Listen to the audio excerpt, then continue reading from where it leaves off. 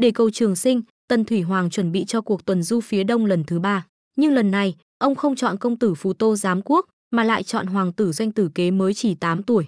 Chỉ thị này vừa ban ra, văn võ bá quan đều phản đối.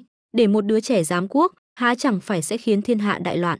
Tuy nhiên, lý tư, mông điểm vương tiễn ba vị trọng thần lại im lặng không nói, bởi vì hoàng thượng đã quyết định, dám phản bác chính là muốn chết thì ra đêm qua, sau khi doanh chính vừa chìm vào giấc ngủ ông bỗng thấy mình bước vào một không gian bí ẩn. Bốn phía đều tối đen, chỉ có phía trước có hai tấm vải dựng đứng, phát ra ánh sáng yếu ớt, hai tấm vải đồng thời xuất hiện biến đổi. Tấm vải bên trái xuất hiện dòng chữ tần nhị thế hồ hợi, bên phải thì hiện ra dòng chữ tần thái tông thiên khải hàm cao hoàng đế doanh tử kế. Tấm vải bên trái sáng lên trước, trung sa phủ lệnh triệu cao cùng thừa tướng lý tư ở xa khâu chiếu cáo thiên hạ, thủy hoàng băng hà, truyền ngôi cho công tử hồ hợi. Ép phù tô tự sạt hồ hợi lên ngôi, tàn sát huynh đệ, bị triệu cao lộng quyền chỉ hưa gọi là ngựa. Thiên hạ oan thán khắp nơi sáu nước dư nghiệt nổi dậy. Năm tần nhị thế thứ nhất mùa thu, ở kỳ huyện có người dương cờ khởi nghĩa, hô vang khẩu hiệu đại sở hưng, trần thắng vương. Vương hầu tướng tướng, ninh hữu trùng hồ, khắp nơi nghĩa quân hưởng ứng sáu nước dư nghiệt tập hợp lại, thiên hạ đại loạn bắt đầu từ đó.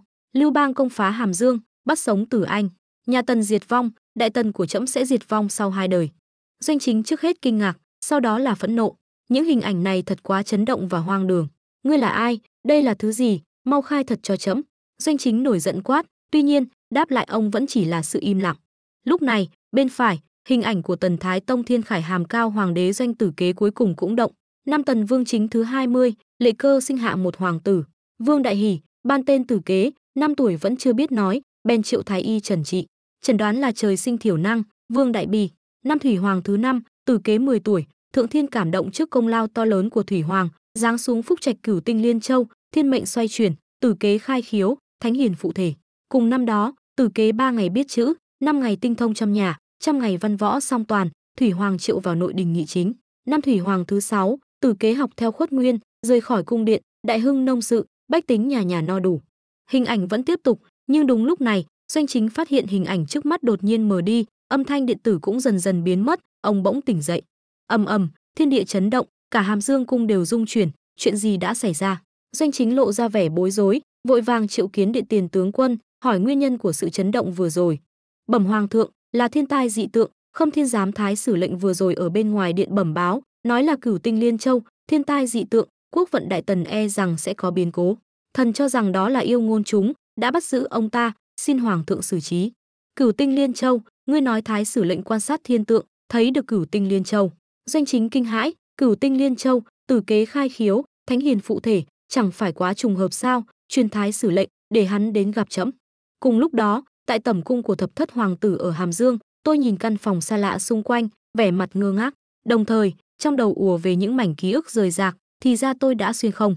Đây là thời tần, còn tôi trở thành doanh tử kế, vị hoàng tử thứ 17 của tần thủy hoàng. Doanh tử kế vốn có chút đần độn, may mắn là tần thủy hoàng rất yêu thương mẫu phi của cậu, nên yêu ai yêu cả đường đi lối về cũng rất cương chiều doanh tử kế. Điều này khiến các hoàng tử khác bất mãn. Sau đó, trong một lần săn bắn mùa xuân, doanh tử kế bị hồ hợi cùng các hoàng tử khác đẩy xuống nước, suýt chết đuối. Tuy được cứu lên nhưng cũng bị nhiễm phong hàn, từ đó thân thể ngày càng yếu, cuối cùng tiện nghi cho tôi bây giờ. Đang lúc tôi suy nghĩ, một giọng nói đột ngột vang lên, phát hiện ký chủ có liên quan mật thiết đến quốc vận đại tần. Hệ thống quốc vận đã ràng buộc thành công, chỉ cần quốc vận đại tần tăng cường, ký chủ sẽ nhận được phần thưởng càng phong phú. Đinh gói quà tân thủ đã được phát xin vui lòng kiểm tra kịp thời hệ thống quốc vận giọng nói này khiến tôi sững sờ là một mọt sách của thế kỷ 21, tôi biết điều này có nghĩa là gì.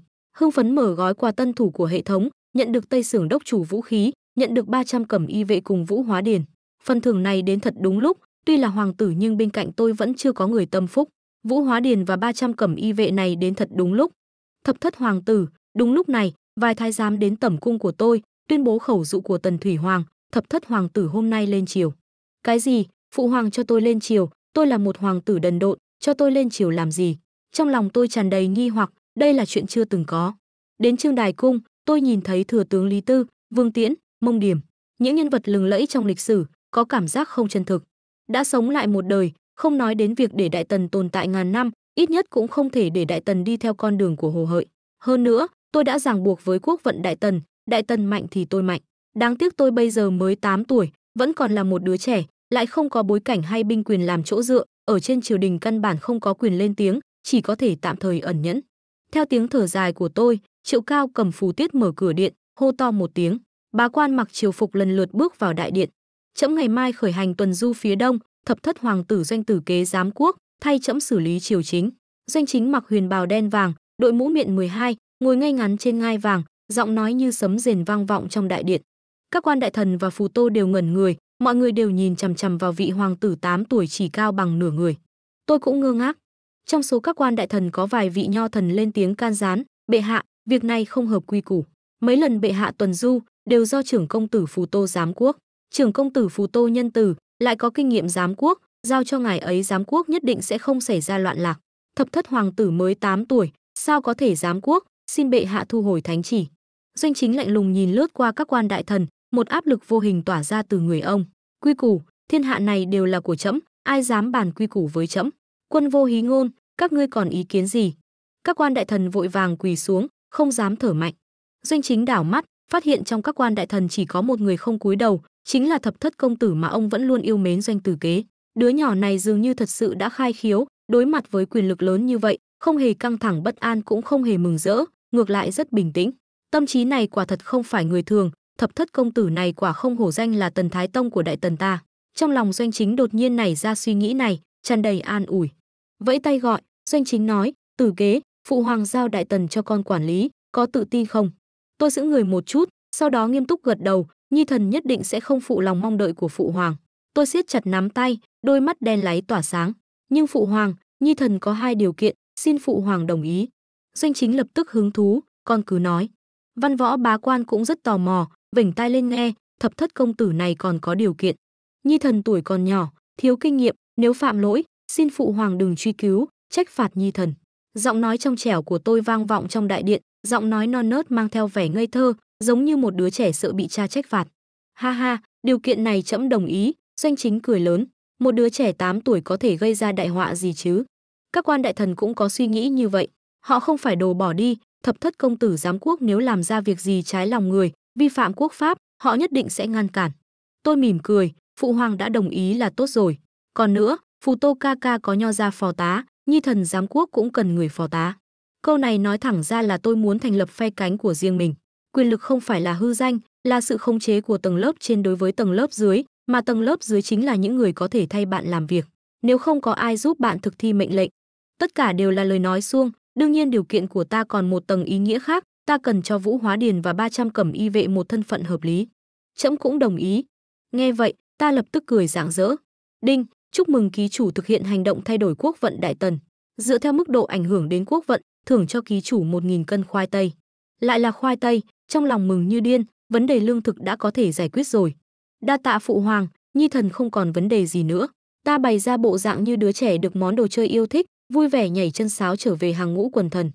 Vẫn chỉ là một đứa trẻ, doanh chính bất giác mỉm cười. Thật khó tưởng tượng đứa trẻ này sau này sẽ trở thành tần thái tông thiên khải hàm cao hoàng đế. Tuy nhiên, tử kế dù sao cũng mới 8 tuổi, bây giờ để nó học đế vương tâm thuật cũng không thực tế. Mọi việc đã định, các ngươi hãy nghe theo công tử tử kế. Trẫm ngày mai sẽ khởi hành tuần du phía đông, lui chiều. Ngày hôm sau, ngoài thành Hàm Dương, văn võ bá quan và bách tính tiễn đưa thủy hoàng xuất thành. Ta đứng trong đám đông hô lớn, phụ hoàng, trên đường bảo trọng. Trong lịch sử, thủy hoàng tuần du phía đông bị thích khách ám sát, thích khách đó chính là Trương Lương. Tuy Trương Lương ám sát thất bại, nhưng ai biết được sẽ có biến cố gì hay không. Lỡ như doanh chính xảy ra chuyện, ta cũng sẽ tiêu đời theo. Nghe thấy lời của doanh tử kế, doanh chính trên xe ngựa cười lớn. Mỗi lần tuần du, ông đều mang theo hàng vạn tinh binh của đại tần. Thiên hạ này ai dám đến hang cọp vồ mồi. Tuy nhiên, trong số những đại thần đến tiễn giá, chỉ có tử kế nhỏ bé quan tâm đến an nguy của ông. Nhìn theo đoàn xe dần khuất xa, ta khẽ thở dài, các vị đại nhân, thời gian tới xin hãy chỉ giáo nhiều hơn. Ta đeo bên hông thanh lỗ lỗ kiếm cao gần bằng mình, trông có chút buồn cười. Các đại thần có mặt nhìn nhau, thân sắc khác nhau. Lỗ lỗ kiếm là bảo kiếm của các đời tần vương, đại diện cho thân phận địa vị tối cao của nước tần. Mọi người đều về đi, ngày mai ta sẽ đúng giờ lên chiều, nói xong, ta cũng quay về trường đài cung. Thấy vậy, các đại thần đều thở phào nhẹ nhõm, không phải vì lời của tử kế, mà là vì thủy hoàng không còn ở triều, cuối cùng bọn họ cũng có thể thở phào một thời gian. Áp lực mà doanh chính mang lại cho họ thật sự quá lớn. Ngay cả khi công tử Phù Tô giám quốc, họ cũng chịu không ít áp lực. Dù sao Phù Tô xử lý mọi việc đều theo quy củ, không được sai lệch dù chỉ nửa phần. Bây giờ đổi lại là một đứa trẻ 8 tuổi giám quốc, đối với họ mà nói hoàn toàn không có áp lực. Trở về tẩm cung, ta đặt lỗ lỗ kiếm sang một bên. Phụ hoàng tuần du chỉ có vài tháng, nhân lúc này, ta phải nhanh chóng loại bỏ những nhân tố bất ổn của đại tần. Đương nhiên những việc này ta một mình không thể hoàn thành. Nghĩ vậy, ta gọi hệ thống. Đinh, phần thưởng đã nhận, ký chủ sắp xếp thân phận hợp lý. Đinh, Tây Sưởng đốc chủ Vũ Hóa Điền triệu hồi thành công. Sắp xếp thân phận giúp ta đỡ được không ít phiền phức.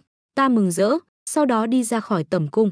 Thấy xung quanh tầm cung đã được tăng cường canh gác, mỗi người đều đeo bên hông tú xuân đao, trên người tỏa ra khí tức lạnh lẽo, thoạt nhìn đều là tinh nhuệ được huấn luyện bài bản. Vũ Hóa Điền đang đứng canh gác bên ngoài điện, thấy ta đi ra liền lập tức quỳ một gối xuống, cẩm y vệ tổng quản Vũ Hóa Điền tham kiến điện hạ. "Ừm, hôm nay ta giao cho ngươi nhiệm vụ đầu tiên, giúp ta chọc một người." Nói xong, giữa lông mày ta lộ ra vẻ sát khí, muốn yên bên ngoài trước tiên phải ổn định bên trong, thanh trừ triều đình chính là bước đầu tiên. Phụ hoàng, người đã hứa sẽ không trách tội con, chọc vài người chắc không quá đáng đâu nhỉ. Trên xe ngựa tuần du của thủy hoàng, doanh chính ngồi ngay ngắn, suy nghĩ một lát rồi cất tiếng, "Bá Lăng Sa, ngươi âm thầm giám sát triều đình, nếu có bất kỳ động tĩnh gì, lập tức báo cáo." Thật sự có thích khách sao? Doanh chính hít sâu một hơi. Tình hình hôm đó tuy chỉ là giấc mơ, không thể hoàn toàn tin tưởng, nhưng nói cho cùng Thủy Hoàng vẫn tin bảy phần, mà bà Lang Sa chính là một cơ hội tốt để kiểm chứng. Nếu thật sự có thích khách, vậy chứng tỏ những gì trong mơ là thật. Nếu không có thích khách, vậy khi đến Bá Lang Sa, Mông điểm hãy sắp xếp cho chẫm một cỗ xe khác. Đêm khuya, tại phủ đệ của Trung Sa phủ lệnh, công tử nhỏ giám quốc, ha ha ha, xem ra bệ hạ đã già rồi. Triệu Cao vừa nhấm nháp trà, vừa xem tấu chương do các đại thần đệ trình. Tấu chương của bá quan thường do ông ta và thừa tướng Lý Tư xem trước, chọn ra những việc quan trọng rồi mới trình lên bệ hạ. Tuy nhiên, bây giờ công tử nhỏ giám quốc không có quyền không có thế, Triệu Cao căn bản không để vào mắt, Tấu chương cũng luôn đè ép. Là thầy của công tử Hồ Hợi, ông ta đương nhiên sẽ không để doanh tử kế dễ dàng giám quốc, gây ra chút chuyện nhỏ là điều cần thiết. Người đâu, thay ấm trà khác, Triệu Cao không ngẩng đầu lên, lớn tiếng phân phó. Nhưng ngay sau đó, ông ta mới nhận ra, những hạ nhân vẫn luôn hầu hạ bên cạnh lúc này không những không trả lời, mà cả phủ đệ còn im lặng như tờ. Đám thị vệ trong phủ đi đâu hết rồi? Triệu Cao nhíu mày, nặng nề đặt chén trà xuống bàn. Đúng lúc này, những ngọn nến xung quanh đột nhiên tắt ngúm, một luồng khí lạnh lẽo ập đến. Một tia chớp lóe lên, chiếu sáng vài bóng người mặc áo choàng đen, nước mưa theo phi ngư phục nhỏ giọt xuống mũi kiếm, lấp lánh ánh đỏ máu. Không khí oi bức xen lẫn mùi máu tanh, đây rõ ràng là một nhóm thích khách. Người cầm đầu chính là Vũ Hóa Điền, sắc mặt Triệu Cao biến đổi dữ dội, nhưng nhanh chóng lấy lại bình tĩnh. Đây là Hàm Dương, phủ đệ của Trung Sa phủ lệnh ông ta, phòng thủ nghiêm ngặt như vậy, sao có thể để một đám người này xông vào được? Các ngươi là ai? Đây là phủ đệ của Trung Sa phủ lệnh, há để các ngươi làm càn, người đâu? Đừng gọi nữa, người của ngươi đều đã ngủ say rồi. Vũ Hóa Điền thản nhiên như đang ở nhà mình, ung dung ngồi xuống, tự rót cho mình một chén trà. Triệu Cao ánh mắt âm trầm, cố gắng giữ bình tĩnh nói, ta là Trung Sa phủ lệnh, thân cư cao vị, nếu ta có mệnh hệ gì, các ngươi chính là tội mưu phản. Đến lúc đó dù thiên hạ rộng lớn cũng không có chỗ cho các ngươi dung thân. Các ngươi đi đi, ta có thể coi như chưa có chuyện gì xảy ra. Mưu phản, hừ, Vũ Hóa Điền cười lạnh, nhìn Triệu Cao như nhìn một người chớt. Gian thần Triệu Cao, kết bè kết phái, tàn sát trọng thần triều đình, uy hiếp xã tắc, tội đáng muôn chớt. Cẩm y vệ tổng quản Vũ Hóa Điền mệnh đến đây truy sạt nghịch tặc. Nghịch tặc, Cẩm y vệ, trong lòng Triệu Cao dâng lên nhiều nghi hoặc. Tuy nhiên, chưa kịp suy nghĩ thấu đáo, một tia sáng lạnh lẽo lóe lên, những tấu chương còn chưa kịp xem xét lập tức bị nhuộm đỏ thành màu máu. Sáng sớm, ta bước ra khỏi tẩm cung, phân phó, Vũ tổng quản, bây giờ ngươi hãy dẫn 200 cẩm y vệ đến thay toàn bộ thị vệ ở Kỳ Lân Điện. Vũ Hóa Điền cúi đầu lĩnh mệnh, đồng thời nhỏ giọng nói, điện hạ yên tâm, tất cả nhân tố bất ổn đều đã được dọn sạch. Nói xong, Vũ Hóa Điền dẫn người đi đến Kỳ Lân Điện. Ta cũng leo lên xe ngựa, trong đầu suy nghĩ về thế cục triều đình. Đúng lúc này, từ trong xe ngựa thò ra một bàn tay trắng nõn che mắt ta. Đoán xem ta là ai, một giọng nói trong trẻo như tiếng trời vang lên. Doanh âm tỷ tỷ, đừng nghịch nữa, ta đang suy nghĩ việc chính, ta bất đắc dĩ nói. Phải nói hiện giờ ở Đại Tần, ngoài Tần Thủy Hoàng doanh chính ra, ta chỉ sợ người tỷ tỷ lớn hơn ta không bao nhiêu tuổi này. Theo ký ức, từ nhỏ hai người đã rất thân thiết, tuy nhiên phần lớn thời gian doanh tử kế đều là đối tượng bị trêu chọc. Doanh tử kế nguyên bản có thể sống đến 8 tuổi quả là kỳ tích. Đứa trẻ ngốc nghếch ngày nào giờ đã thành người giám quốc rồi, đang suy nghĩ đại sự quốc gia đây. Doanh âm cười khúc khích, che mắt ta càng chặt hơn, tỷ tỷ không phải sợ đệ lên chiều bị người ta bắt nạt nên mới đến xem đệ sao, thật là vô lương tâm. Ta bày ra vẻ mặt chán nản, tỷ không bắt nạt ta là vạn hạnh rồi, nhưng hôm nay lên chiều phải chọc người, sao có thể để tỷ ấy đi theo? Hơn nữa, nữ nhi không được vào chiều, xưa nay đều như vậy. Biết rồi, biết rồi, quy củ con gái không được nghị chính ta hiểu.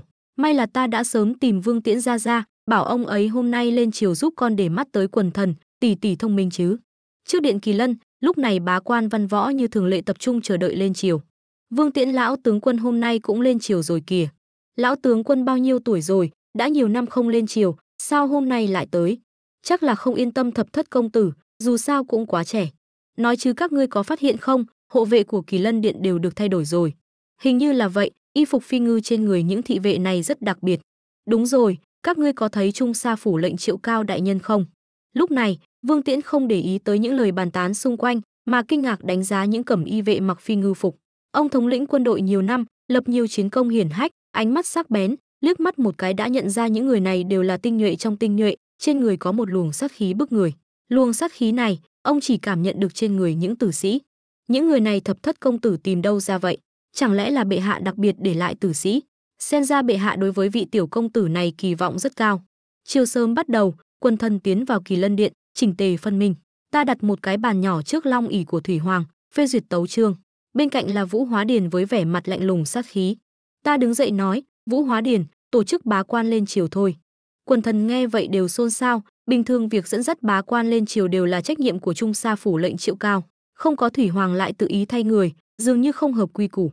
Thế là có người lên tiếng chất vấn, tiểu công tử, việc dẫn dắt bá quan không phải chuyện đùa. Chỉ có triệu đại nhân đích thân tới mới thích hợp nhất triệu đại nhân có thể đêm qua quá mệt mỏi, đến muộn một chút cũng không sao. Người đầu tiên lên tiếng chất vấn chính là phe cánh của triệu cao. Dù sao có thể dẫn dắt bá quan cũng là một địa vị tối cao, là sự tín nhiệm của thủy hoàng bệ hạ. Tuy hôm nay không biết vì sao triệu đại nhân không tới, nhưng bọn họ là phe cánh của ông ta, tự nhiên không thể để doanh tử kế tùy tiện thay người. Mới ngày đầu giám quốc đã thay người, hơn nữa lại thay cả triệu cao, còn ra thể thống gì? Những người khác tuy cũng không phục triệu cao, nhưng đột nhiên thay người lại là một vũ hóa điền chưa từng nghe tên, bọn họ càng không phục. Các ngươi lắm chuyện quá, nhìn đám quần thần đang quỳ dạp dưới đất, ta xoa cằm nhỏ, mở miệng nói, lý do thay triệu cao, đương nhiên là vì vũ hóa điền thích hợp hơn. Bất kể trước kia như thế nào, sau này đều do vũ hóa điền dẫn dắt bá quan lên triều. Doanh tử kế chớp chớp mắt, đôi mắt to ngây thơ lộ ra vẻ nghiêm túc. Cả triều văn võ đều ngẩn người, cả triều đình trong nháy mắt yên tĩnh đến mức nghe được cả tiếng kim rơi. Thập thất, tiểu công tử nói vậy chẳng lẽ không sợ bệ hạ trách phạt sao? Quần thần vẫn không coi ta, người đang giám quốc, ra gì, vẫn dùng giọng điệu dỗ dành, hù dọa trẻ con để nói chuyện, cho rằng đây hoàn toàn là trò trẻ con đùa nghịch, nói vài câu là được. Nhưng có vài người lại nhíu mày, đặc biệt là vương tiễn. Ông ta đã sớm nhận ra vũ hóa điển không đơn giản. Sát khí trên người hắn tuyệt đối không phải thị vệ bình thường có được.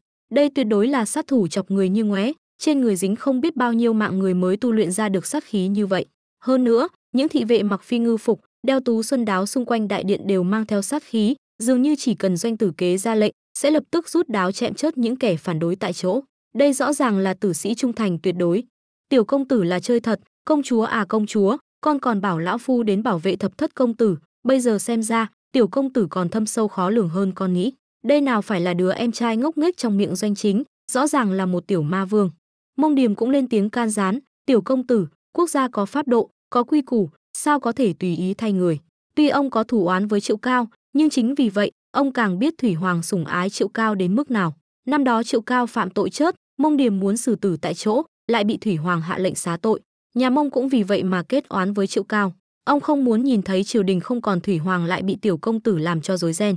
Phù tô cũng lên tiếng, tiểu thập thất, đừng làm loạn nữa. Là một người đại diện cho nho gia, hắn cũng coi trọng việc quốc có quốc pháp, gia có gia quỳ hồ hợi thì nổi giận, lớn tiếng quát doanh tử kế, ngươi có năng lực gì mà đảm đương trước giám quốc? Cút xuống cho ta, thậm chí còn muốn xông lên đài cao, kéo doanh tử kế xuống. Hừ, ai dám động vào điện hạ, đừng trách đáo của ta vô tình. Vũ hóa điền sát khí đằng đằng, chắn ngang trước mặt ta. Hồ hợi lập tức dừng bước, bị dọa cho sợ hãi. Hắn có dự cảm nếu tiến thêm hai bước, tên này thật sự sẽ chẹm xuống một đáo. Dám rút đáo với bổn công tử, tiểu thập thất, ngươi muốn tạo phản sao? Làm loạn xem ngươi làm sao thu dọn tàn cuộc, nhìn hồ hợi phẫn nộ ta hơi nhèo mắt. Thôi bỏ đi, hồ hợi không phải chịu cao, không thể nói chọc là chọc, với lại khó ăn nói với doanh chính. Giây tiếp theo, trên mặt ta lại khôi phục nụ cười ngây thơ, người đâu, đưa hồ hợi đi, đừng để hắn ở đây làm loạn mất mặt hoàng thất. Còn các ngươi cũng không cần chờ chịu cao nữa. Hôm nay hắn không tới được, không chỉ vậy, sau này cũng vĩnh viễn không tới được nữa. Lời nói nhẹ nhàng của ta vừa dứt, vũ hóa điền nhận ra ánh mắt của ta, liền ra hiệu. Lập tức có một cẩm y vệ ôm hộp gỗ bước ra, mở hộp gỗ ra nhìn thấy thứ bên trong sắc mặt văn võ bá quan đều cứng đờ lại, sau đó chuyển thành kinh hãi và khó tin. Bên trong hộp gỗ, vậy mà lại là đầu của Triệu Cao. Nhìn văn võ bá quan chớt lặng, giọng nói lạnh lùng của Vũ Hóa Điền vang vọng khắp triều đình, Triệu Cao mưu nghịch phạm thượng, đã bị xử tử đêm qua. Cả Vương Tiễn cũng suýt nữa giật dụng bộ râu trắng của mình, "Tiểu công tử, đây đúng là muốn tạo phản rồi." Mọi người còn ý kiến gì về việc Vũ đại nhân tiếp quản không? Ta ung dung ngồi xuống, giọng điệu tùy ý như đang nói chuyện ăn sáng, nhưng khí thế của quần thần đã bị dập tắt, kinh hãi, chấn động, hoang mang lúc này chiếm cứ tâm trí bọn họ. Đêm qua còn hô phong hoán vũ, là sủng thần đứng đầu của thủy hoàng, trung sa phủ lệnh triệu cao, đã chết Nhất thời quần thần không ai dám hó hé một tiếng, sợ mình trở thành triệu cao thứ hai, bởi vì doanh tử kế thật sự dám chọc. Vương Tiễn suy nghĩ một lát, bước ra, dùng giọng già nua hỏi, thập thất công tử, rốt cuộc là vì nguyên nhân gì mà nhất định phải chọc triệu đại nhân? Uy tín của ông là cao nhất trên triều đình, hơn nữa còn có lời dặn dò của thủy hoàng, không thể khoanh tay đứng nhìn. Lý Tư cũng kinh ngạc nói, chuyện đã xảy ra rồi, nói thêm gì nữa cũng đã muộn. Việc này vẫn nên đợi đoàn tuần du phía đông trở về, nghe thủy hoàng xử lý như thế nào. Còn bây giờ, tiếp tục nghị triều, là thừa tướng, ông ta đương nhiên phải duy trì sự ổn định của triều đình, người chớt đèn tắt, nói thêm cũng vô ích. Phụ hoàng trở về nếu có trách phạt, tử kế xin gánh chịu hết. Ta lại cho quần thần một liều thuốc an thần, việc này nằm trong tầm kiểm soát của ta. Sau này muốn thi hành quốc sách không thể chỉ dựa vào một mình ta. Có bậc thang, quần thần cũng thuận thế mà xuống, tiếp tục im lặng không nhắc đến chuyện của Triệu Cao nữa, chỉ là ánh mắt nhìn ta đã khác. Nhiều người hôm nay lên triều vốn mang theo tâm tư riêng, nhưng bây giờ, những tâm tư này đều lặng lẽ cất giấu đi. Tiểu công tử thật sự chỉ mới 8 tuổi sao, rõ ràng là một tiểu ma vương. Nhìn doanh tử kế đáng yêu đang ngồi trước bàn nhỏ, trong lòng tất cả mọi người đều nảy ra suy nghĩ này. Được rồi, việc này tạm thời gác lại, các khanh còn việc gì tâu lên không? Ta vốn cũng không định giải thích, hơn nữa cũng không giải thích được. Chẳng lẽ nói mình xuyên không đến, biết kết cục của đại tần. Loại chuyện này ngay cả doanh chính cũng sẽ không tin. Khởi tấu tiểu công tử, phương Bắc đại hạn, lại đúng lúc sắp vào đông, hung nô e rằng sẽ xâm lược biên giới. Thần cũng có việc muốn tâu, giao dịch xây dựng trường thành đã chuẩn bị xong xuôi. Hung nô tự nhiên phải phòng bị, nhưng năm nay mùa màng thất bát, lương thực trong kho không nhiều. Thiên tai nhân họa liên miên, lương thực trong kho chỉ có thể dùng để cứu tế dân, an dân. Nạn đói nếu tiếp tục kéo dài, e rằng mùa đông năm nay sẽ kích động dân biến. Nếu không có binh lính chấn giữ, hung nô xâm lược thì phải làm sao? Đến lúc đó, bách tính không chỉ chịu đói, mà còn mất mạng. Dịch xây trường thành thì sao? Đó đều là tàn binh bại tướng của sáu nước, nếu không dùng việc này để kiềm chế, sớm muộn gì cũng sinh biến. Tranh luận trên triều đình bắt đầu gay gắt, cái chết của Triệu Cao dường như so với đại sự quốc gia có vẻ không đáng kể. Đặc biệt là sau khi Đại Tần thống nhất sáu nước, các loại mâu thuẫn xuất hiện, đặc biệt là nạn đói hoành hành khắp nơi. Lương thực trở thành vấn đề lớn nhất, dù có trăm vạn hùng binh, không có lương thảo cũng chỉ là vô dụng. Bách tính dưới sự cai trị nếu đói quá cũng sẽ liều mạng phản kháng. Nhân tâm là gì? Lương thực chính là nhân tâm. Nếu doanh chính còn ở triều đình, quân thần có lẽ còn hỏi ý kiến thủy hoàng. Nhưng hiện tại người giám quốc lại là một đứa trẻ 8 tuổi. Thập thất công tử thủ đoạn tàn nhẫn, chọc được triệu cao cũng không biến ra được lương thực. Hơn nữa, thập thất công tử từ nhỏ được nuông chiều, nào từng thấy cảnh dân đói khát chọc người. Không nói ra câu sao không ăn thít, đã là hiểu chuyện rồi. Ta cũng không vội, lặng lẽ nhìn bọn họ tranh cãi. Xã hội phong kiến nói cho cùng vẫn là xã hội nông nghiệp, chủ yếu vẫn bị hạn chế bởi sản lượng nông sản. Lúc này, giọng nói của hệ thống đột nhiên vang lên, chúc mừng ký chủ. Kế hoạch tiêu diệt triệu cao. Chọc triệu cao, loại bỏ mầm mống tai họa cho đại tần, quốc vận tăng, phần thưởng. Quốc nguyên lê kỹ thuật.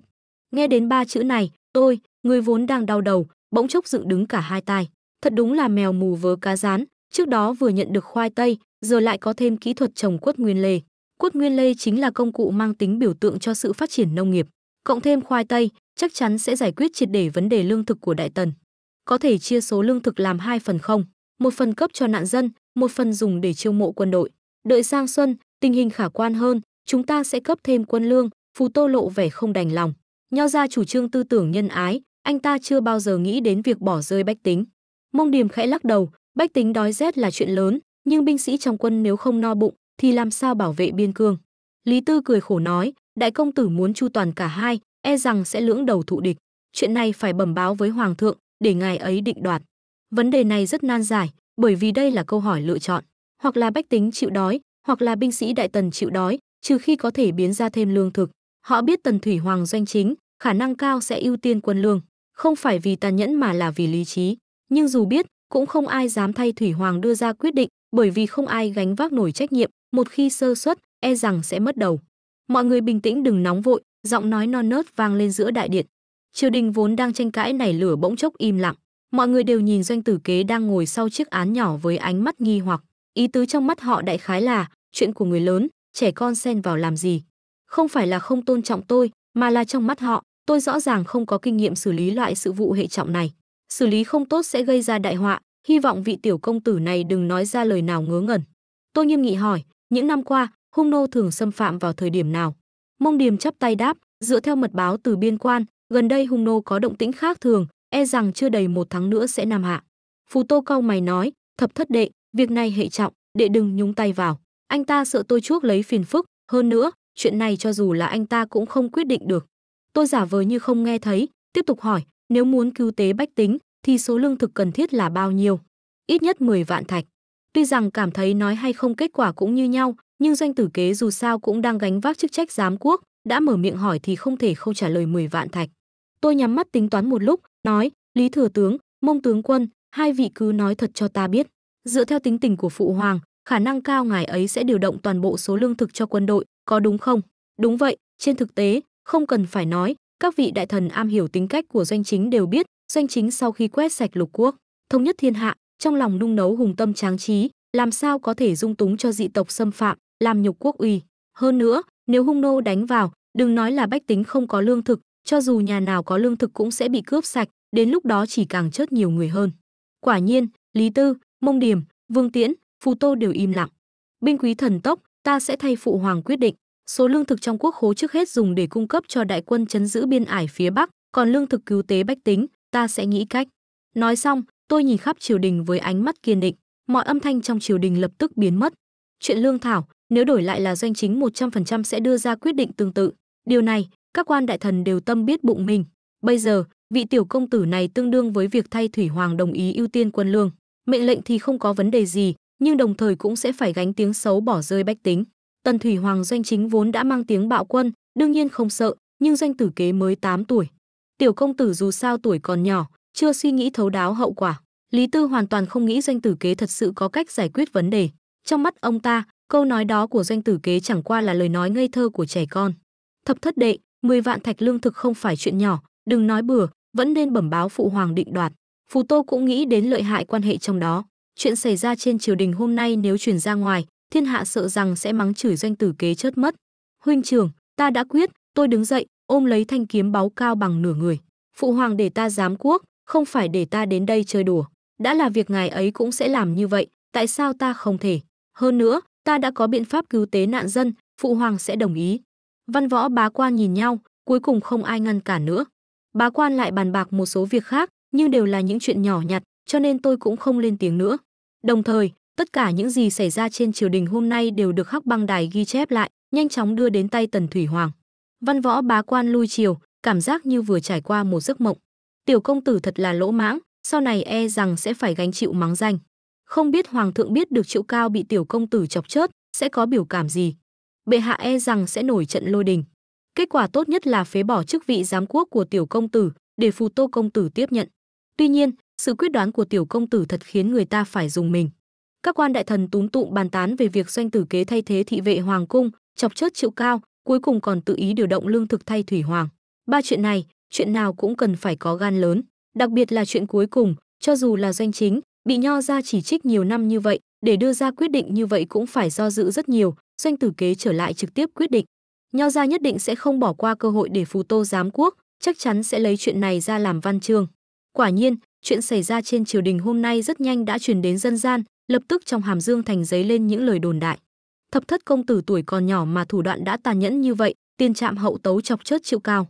Ta nói đây chính là ma vương chuyển thế, lại còn dám lấy lương thực cứu tế nạn dân để làm quân lương, hành vi như vậy thật là nghiêng trời lệch đất. Để cho danh tử kế cứ tiếp tục làm loạn như vậy, đại tần nguy vậy. Không biết thủy hoàng nghĩ như thế nào, lại để cho một đứa trẻ 8 tuổi giám quốc, đây là đang đem đại tần ra làm trò đùa sao? Cho dù là để cho hồ hợi công tử giám quốc, cũng không đến nỗi phải làm ra chuyện như vậy. Lời đồn trong thành và chuyện trên triều đình đều được khắc băng đài ghi chép chỉnh lý, đồng loạt gửi đến đoàn tuần du của thủy hoàng. Một đoàn người dài răng giặc chậm rãi tiến về phía trước, quân lính bao vây xung quanh, bảo vệ ba chiếc xe ngựa giống hệt nhau ở trung tâm. Sở dĩ phải dùng đến ba chiếc xe ngựa là vì phòng ngừa kẻ ám sát lợi dụng để trà trộn vào. Tuy nhiên, tin tức của Hắc Băng Đài không được đưa đến trung quân, mà là được đưa đến một chiếc xe ngựa của các đại thần cách đó vài trăm mét. Trong xe ngựa, doanh chính mặc trường bào đen đang ngồi ngay ngắn, trong tay đang cầm một bản tre đang phê duyệt, tuy rằng cảm thấy giấc mộng đó rất hoang đường, nhưng ông lại tin.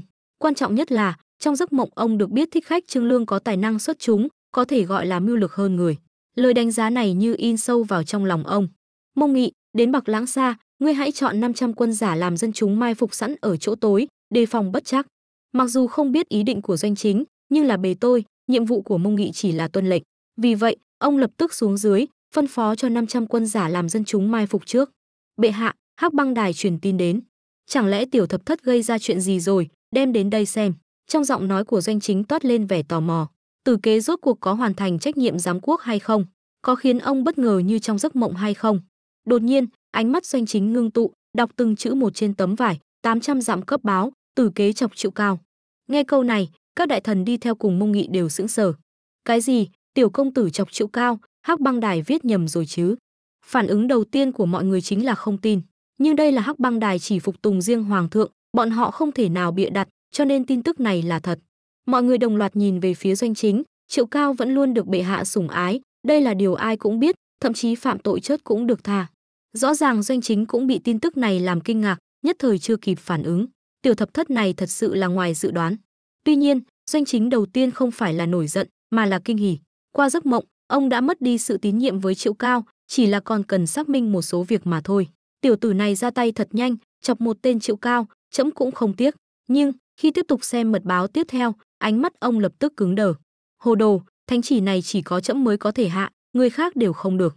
Lý Tư và những người khác đều tránh như tránh tà, tại sao con lại cứ đâm đầu vào? Doanh chính ném mạnh mật báo lên bàn, không ngờ rằng doanh tử kế giám quốc việc đầu tiên chính là xử tử triệu cao. Nhưng doanh chính càng không ngờ tới chính là thánh chỉ mà doanh tử kế hạ xuống. Lúc này, tâm trạng của Thủy Hoàng vừa khiếp sợ vừa tức giận, tử kế làm như vậy thật quá lỗ mãng. Đúng lúc này, trên vách núi truyền đến tiếng quát lớn, chọc bạo quân. Đội ngũ tuần du của doanh chính ban đầu có chút hỗn loạn, nhưng rất nhanh đã phản ứng lại. Có thích khách, ngự lâm quân được huấn luyện bài bản lập tức bày trận bảo vệ xe ngựa của doanh chính. Sắc mặt mông nghị cũng trở nên nghiêm nghị, nhìn chằm chằm vào bóng người đang lao xuống từ vách núi. Chuyện gì vậy? Doanh chính cũng nghe thấy động tĩnh, bèn vén rèm xe ra xem. Bẩm bệ hạ, quả nhiên như ngài dự liệu, có nghịch tặc hành thích.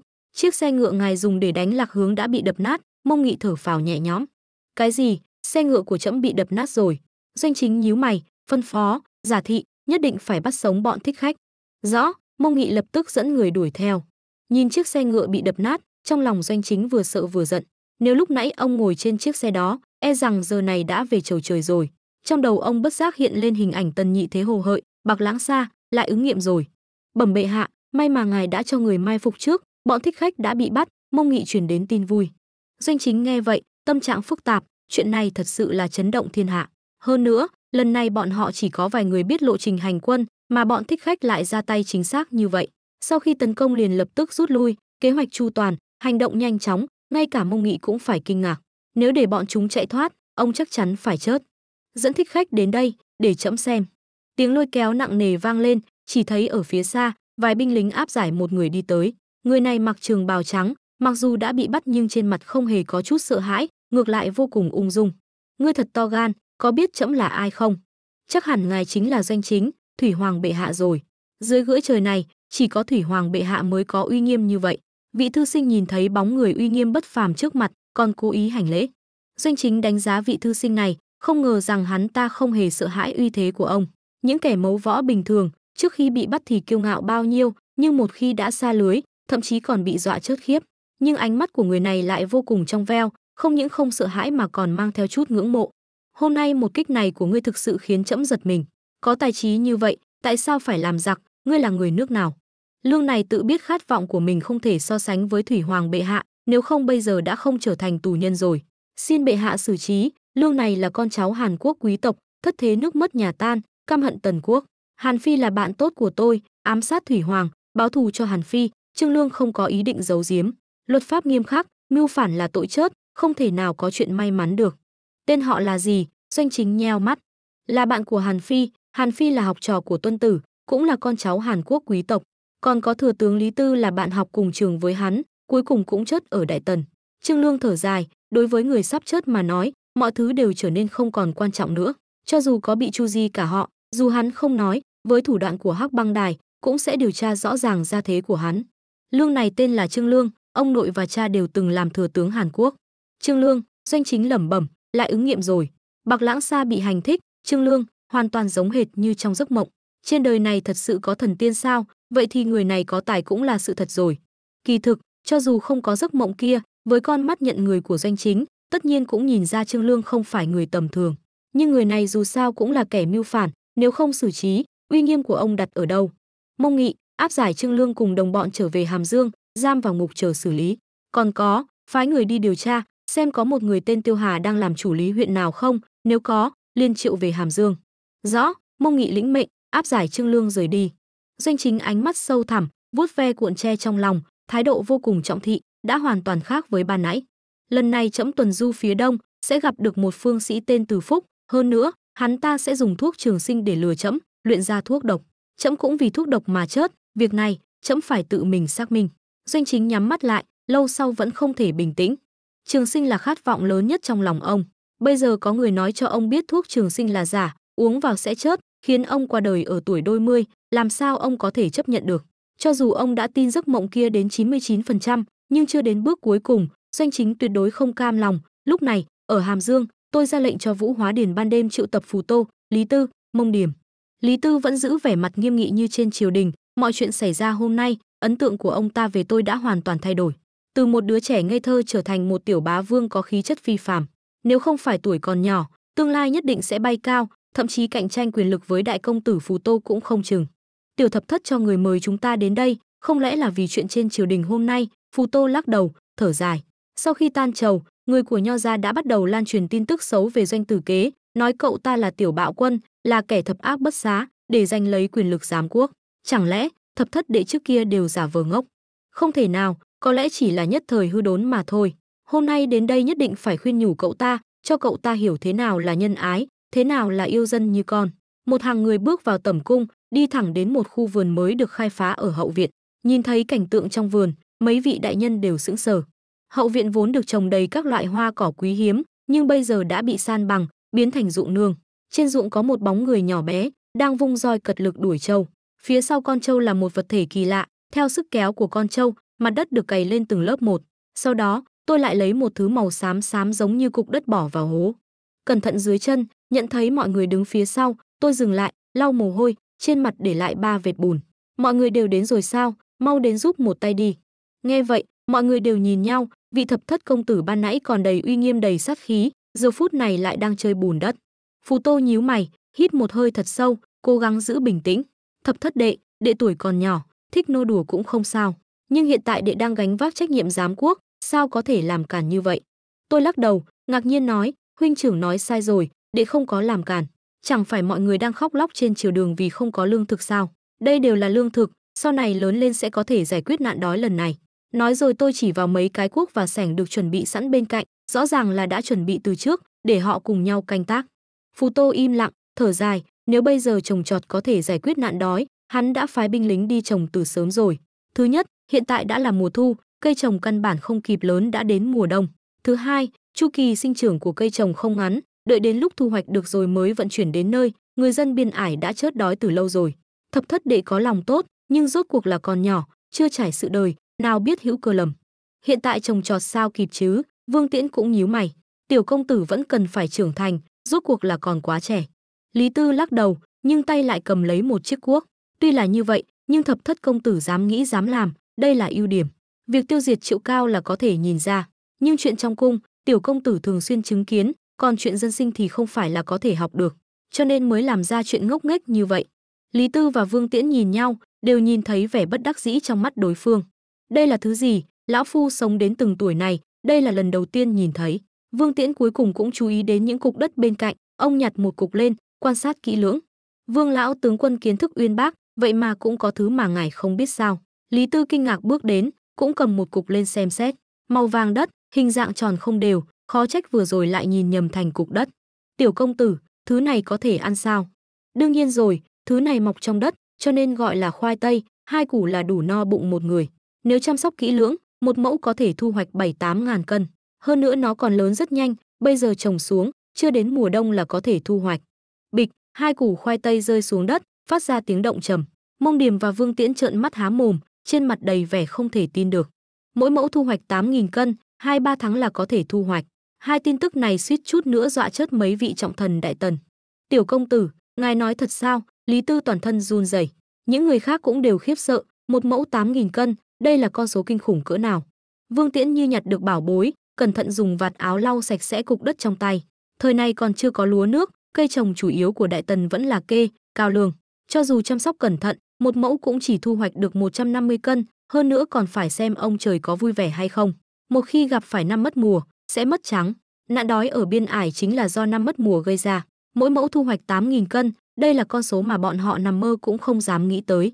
Nhìn thấy vẻ mặt không thể tin được của mọi người, thậm chí ánh mắt nhìn tôi đều mang theo sự thất vọng, tôi bất đắc dĩ nói, chuyện này ta đã nói với phụ hoàng, nhưng không nói con số cụ thể, chỉ nói có thể giải quyết nạn đói ở biên ải. Hơn nữa chuyện này rất dễ chứng minh, cứ trồng một mẫu trước, đến mùa thu hoạch, phụ hoàng cũng vừa lúc trở về, vừa lúc có thể nhìn thấy thành quả. Những củ khoai tây này đều là do hệ thống cung cấp, là giống tốt, một mẫu 7-8 ngàn cân thật sự không phải là nói khoác.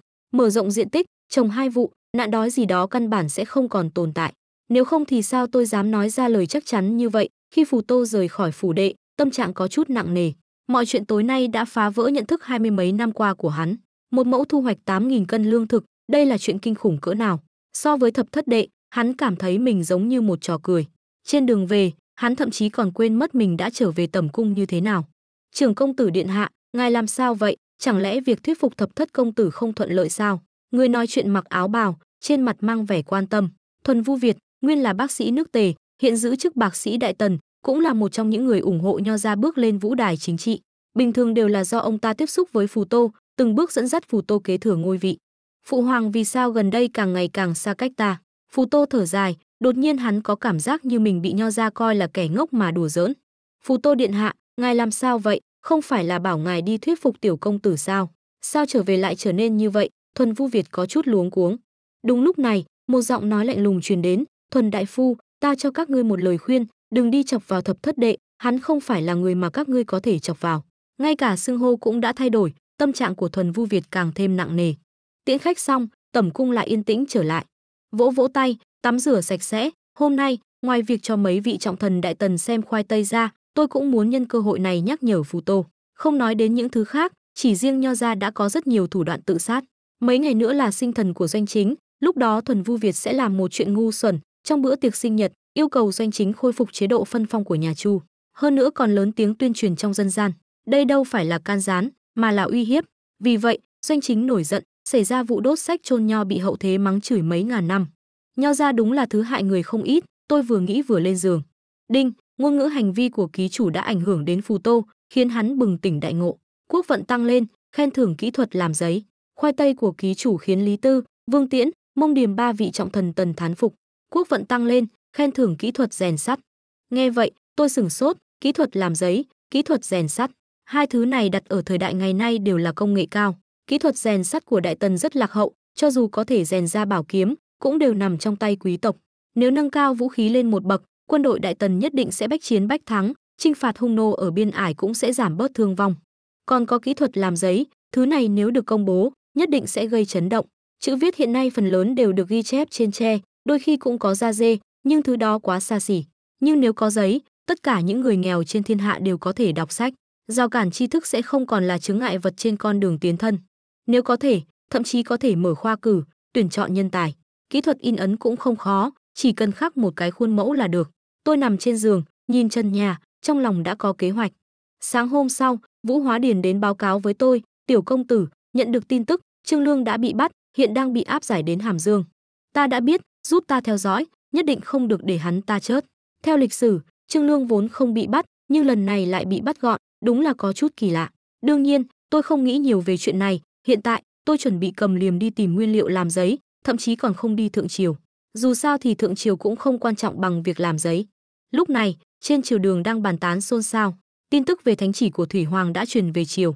Chỉ có 2 phần 10 các quan đại thần yêu cầu xử tử Trương Lương, kẻ dư nghiệt sáu nước, 8 phần 10 còn lại thì yêu cầu Chu Di Tam tộc cho hả giận. Chỉ có Lý Tư nhíu mày trầm tư, ngay trước khi còn ở Hàn Quốc, ông và Hàn Phi là huynh đệ đồng môn. Cha và ông nội của Trương Lương đều từng làm quan hàn, lại là quý tộc danh giá, đương nhiên ông quen biết. Không ngờ lần nữa nghe được cái tên này lại trong hoàn cảnh như vậy. Lý Tư thở dài, nét mặt phức tạp, hình pháp đại tần vốn nghiêm khắc, mưu hại thánh thượng là tội chết Tuy quen biết nhưng cũng chỉ là quen biết, cho dù Trương Lương có là con ruột, ông cũng không dám dính líu nửa phần. Nhìn sang, thấy Mông Điểm và Vương Tiễn đều đang thắc mắc, Lý Tư lên tiếng, sao tiểu công tử vẫn chưa đến?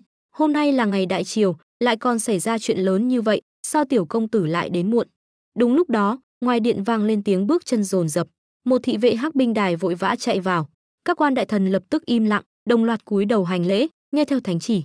Thị vệ chậm rãi mở thánh chỉ trong tay, đọc to, Trương Lương mưu hại chấm, tội đáng muôn chớt.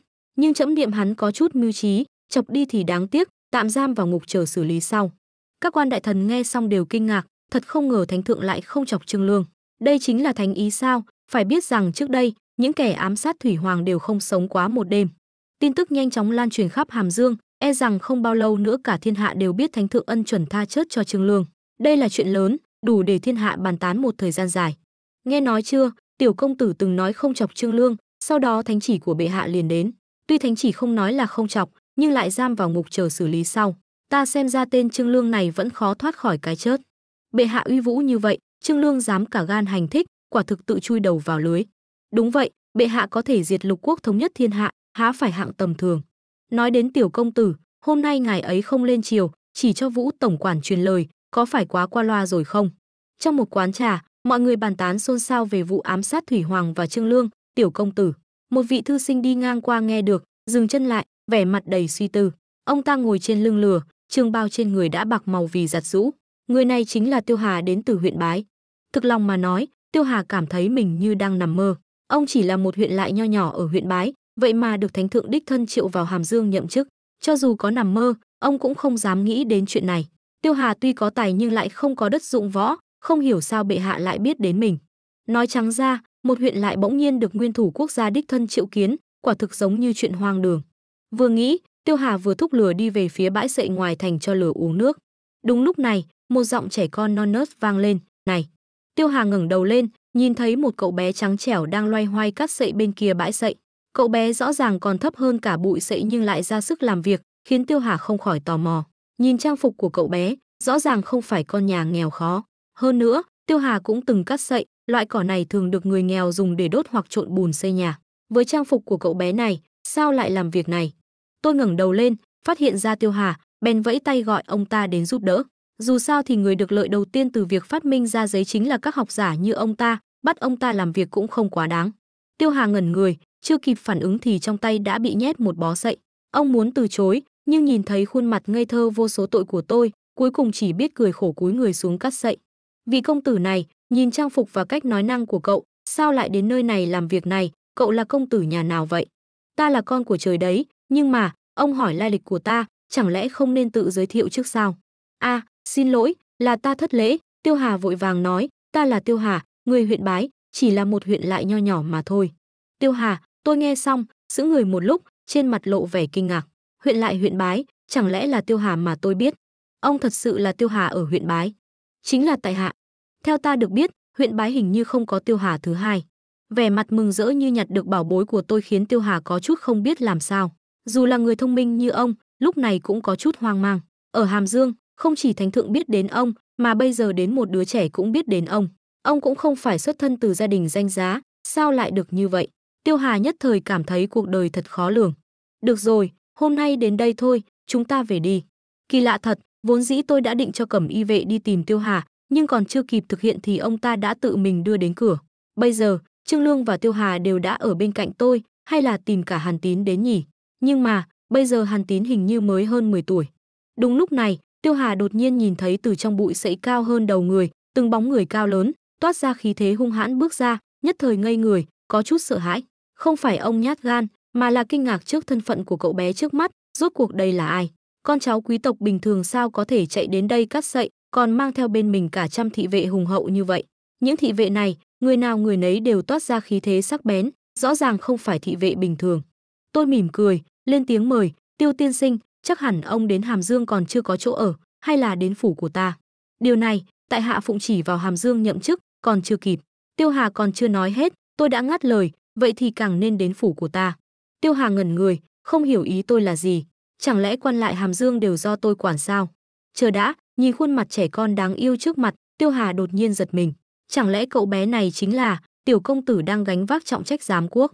Trong chốc lát, Tiêu Hà chợt hiểu ra, vội vàng hành lễ, Tiêu Hà bái kiến tiểu công tử.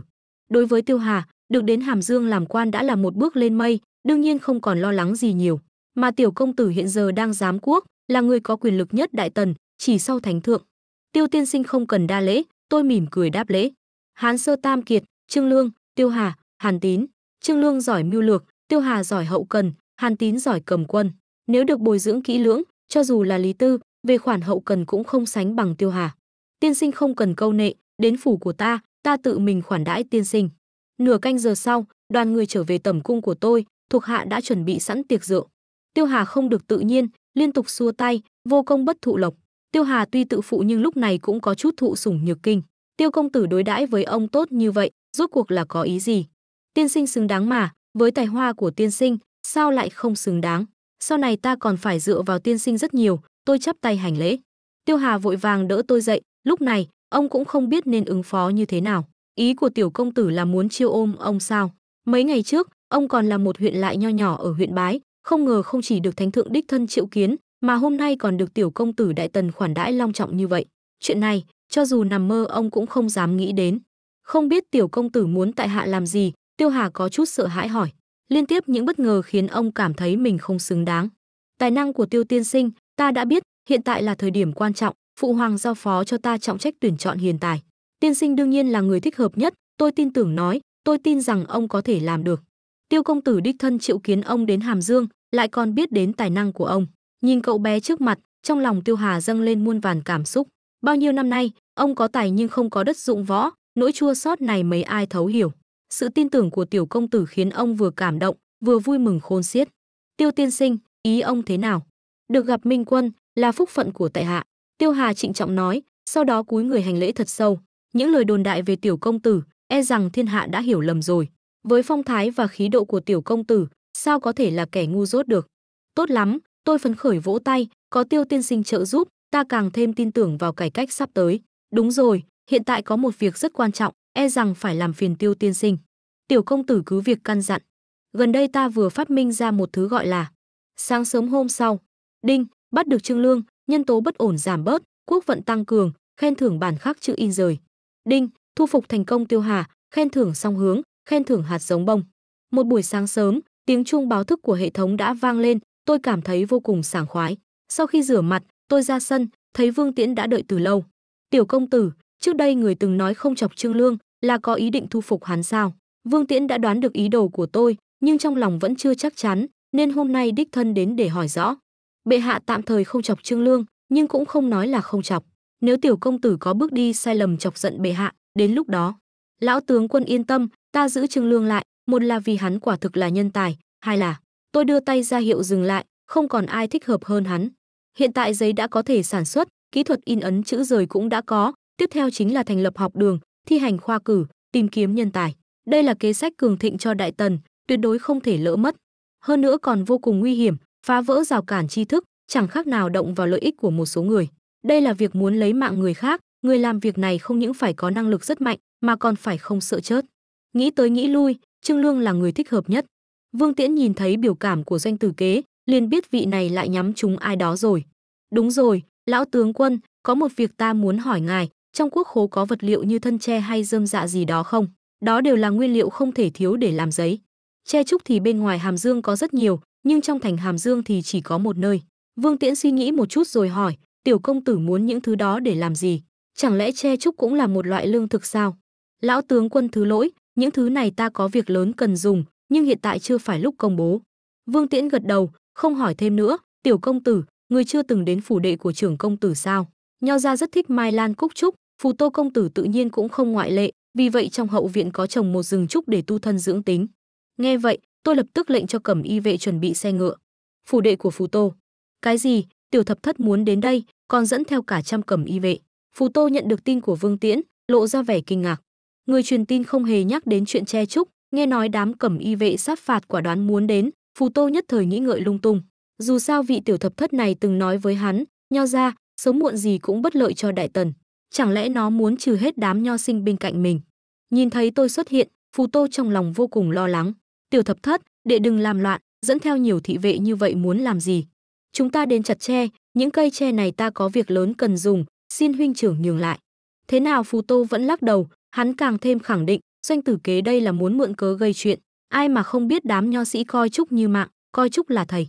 Bây giờ doanh tử kế muốn chặt Trúc, chắc chắn sẽ xảy ra xung đột, đến lúc đó nhất định sẽ không từ bỏ ý định, lỡ như xảy ra án mạng thì hắn phải làm sao, đám nho sĩ kia sẽ xé xác hắn mất. Nhìn thấy tôi sững sờ, sau đó dường như đã hiểu ra, Phù Tô vội vàng nói, bọn họ thật sự rất khó đối phó, hay là đệ, đệ trước tiên nói chuyện đạo lý với bọn họ đi, nếu không được thì, không được thì huynh cứ chuẩn bị sẵn quan tài cho bọn họ đi, ngày mai kéo ra khỏi Hàm Dương chôn chung một chỗ. Ở vườn sau, một đám nho sĩ đang ngồi trong rừng trúc bình phẩm thơ ca, phần lớn là bàn luận về tình hình hiện nay. Đối với việc tiểu công tử giám quốc, các vị nghĩ thế nào? Tên tiểu bạo quân kia hành sự ngang ngược vô đạo, vốn tưởng rằng thủy hoàng bệ hạ còn chút lý trí, sẽ phế chốt hắn, không ngờ, thừa tướng lại truyền lệnh để nó tiếp tục giám quốc. Chọc triệu cao loại gian thần đó thì không sao, nhưng lại bỏ mặc bá tánh ở biên giới phía bắc chớt đói, dồn hết lương thực đi chiêu bình mãi mã. Trị quốc như vậy chẳng phải là tự tìm đường chớt sao? Nghe nói quân sư của Tần Vương tên là Trương Lương, là con cháu của thừa tướng hai triều Hàn Quốc. Đáng tiếc hiện tại đã bị tiểu bạo quân bắt giữ, e rằng sẽ chớt không toàn thây. Đám nho sĩ chỉ trích Giang Sơn, thao thao bất tuyệt, thật là khoái trá. Các vị đang bàn luận gì vậy? Một giọng nói trẻ con vang lên sau lưng. Mấy nho sinh quay đầu lại, phát hiện trên con đường nhỏ trong rừng trúc là Phù Tô đến.